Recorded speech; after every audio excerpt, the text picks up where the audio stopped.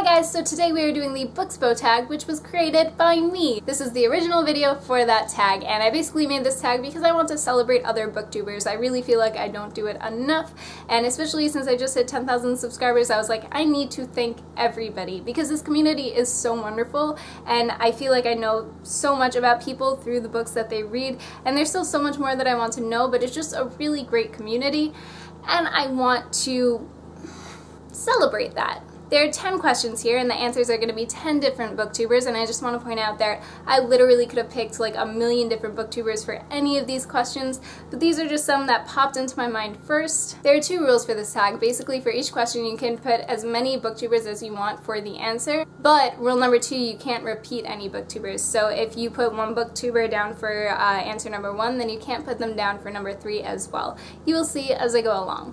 The first question is who started your booktube journey? For me, I learned that booktube exists through Priscilla from The Readables. I feel like this is the answer for a lot of different people, but Priscilla's editing is just incredible to me and something that I aspire to. And not only is she a great critical reader and she has fantastic reviews, but she does them in a way where it's so fun to watch because I just love watching her editing process and I still aspire to that. Seems like such a wonderful person and I really miss her. Second question is who kept you on here? Now two people that really kept me going were Alyssa from Pucks and Paperbacks and Mandi from Oh It's Mandi. These two have been with me from the beginning, like as soon as I started making booktube videos I saw them comment on my booktube videos and it just made the community experience such a community experience, you know? And seeing their channels and seeing them make videos about books that they love love, it just made me know those people and it just really makes it seem like a whole forum group of people, like a whole family of people that just really like talking about books. And that's all I want in life, basically. Number three is fresh outlook. So basically someone that reads something completely different than you, but you still really, really enjoy watching them. For me, that's Lindsey from Lindsey Rey. She reads like the polar opposite of what I read, I think, and I think she also reads a lot of the different things that I read. Like she also reads literary fiction and young adult and that stuff. But then she moves into science fiction, which I read some of, but not as much as her, and then fantasy and detective novels and so many things. She has weekly reviews where she goes in depth about these novels and she talks a lot about the characters. And I love books with great character development. So when she talks about the characters in these books, she makes me so excited to read them. And I just want to read all the books that she's so enthusiastic about. I love her videos so much. She's great. Number four is who is your booktube doppelganger? So basically the person that has the same opinion as you on the books that you read. They literally are speaking to your soul every time they talk. For me, that's Ali from Ali Reads Books whenever she talks about books, and when she talks about books, she talks about books that I really feel like I only have on my shelves, like they're not ones that you hear on booktube very often. She has the same exact opinions that I do on like Chuck Palahniuk novels and other novels and just every time she talks about a book I'm like I know that I would love this book because she loves this book. And it just makes me really happy. Number five, who feeds your addiction? Who has those hauls that you absolutely love watching? For me that's Jillian from Bookish and Nerdy. She has the she has my favorite hauls. I love them. They can be like 15 minute, 20 minute videos. I will watch them all the way through. Recently she's been buying a lot of new adults so I literally have like my Amazon tab and then I have hers and like I'll just look at the like Kindle deals for them and they'll be like $1.99 each and I'll be like yes. And half the time she's already like read half the books that she's hauling so it's really nice hearing her thoughts as well. It's just really really great. Number six, who does reviews that make you auto buy books? For me that's going to be Shannon from Leaning Lights. That's another person where I like have my Amazon tab ready and then I also have hers and she also has books that are usually like $1.99 on the Kindle like in her reviews. She's another person who is a critical reviewer, which I love. She talks about the things that she likes and the things that she doesn't like. She's very genuine within her reviews, so you know that you are like getting her specific thoughts and not thoughts that have been like clouded over or anything. This is like her work and I love it. Number seven, who motivates you to be creative?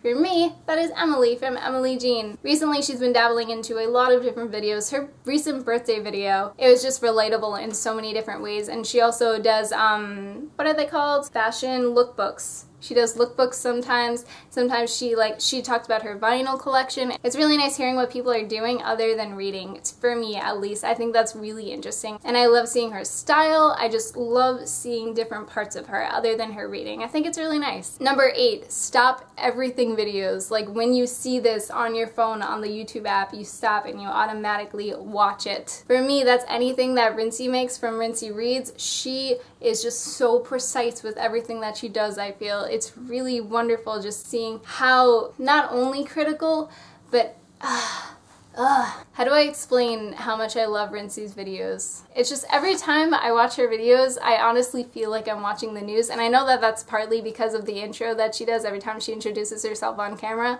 but I love it. Her reviews are also extremely critical. She talks about books that I wouldn't normally pick up. They're books that I'm hesitant to pick up. So whether she really likes it or she really hates it, then I'm more prone to either pick it up or leave it. She's also introduced me to all the Book Riot things, and it's just I really, really love her content. Number nine, Master of All Media. Whitney from Whitty Novels. If you have not seen her Twitter page, you really need to. It is the most hilarious, relatable, best thing that I have ever seen and she just she's just the perfect Twitter person ever love it love it so much and I also follow her on Instagram and number 10 is outside of the books who is someone that isn't a booktuber that still inspires you to make content for me, I have two of those. I have Ali from Ali Gabriel, and I also have Josie from Josie May. Ali does a lot of makeup-based videos. She was a like beauty guru, but she also does a lot of lifestyle videos. She recently got married, and you got to see that entire process.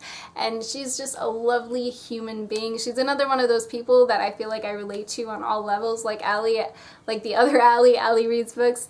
I really feel like she just speaks to my soul sometimes. And she's been with me for like since Guam, since I like had my first channel and I just appreciate her being here and I appreciate her as a person. She's just a really wonderful person. The next person, Josie May, I've never talked to, but she is a fitness, um, basically like a Fitspo person and she's phenomenal and she's motivated me to do so many things. She motivates me to get up in the morning basically. Every time I get up in the morning I like watch one of her videos and I'm like alright I am ready to start the day now. Her fitness journey is just incredible and she continues to try and lead like a healthy, happy life. It just keeps me in a wonderful mood and I really, really enjoy her. I enjoy everybody's content on here, obviously.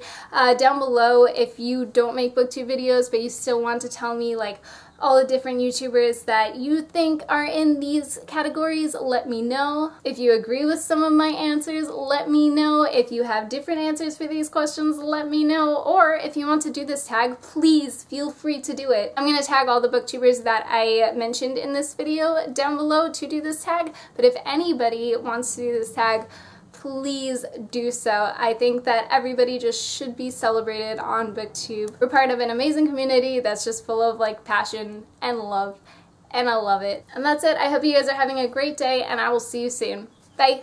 Hey, so while I'm editing this, I realized that I picked no male booktubers at all, or any male YouTubers at all, and I'm definitely really sorry about that. I should have been more conscious about that.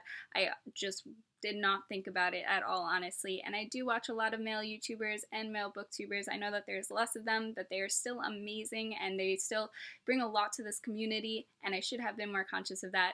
So I do apologize. I will be more equal in the future, more gender equal, and I hope you guys are having a wonderful day once again, and I will see you soon. Goodbye.